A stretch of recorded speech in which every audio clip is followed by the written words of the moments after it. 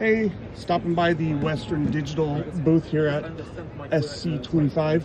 They're showing off, this is their new 32 terabyte with SMR shingled magnetic recording. That's their upcoming highest capacity. It's basically the same drive as their 22, uh, sorry, 26 terabyte conventional magnetic recording, which uses, what's it, uh, I don't even remember, something PMR.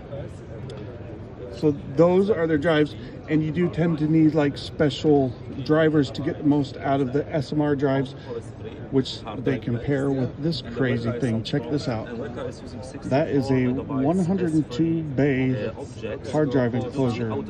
I'm told they're two, I believe they said 1600 watt power supplies.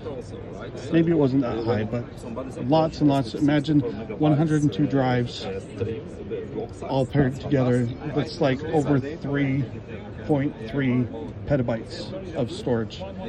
Pretty wild.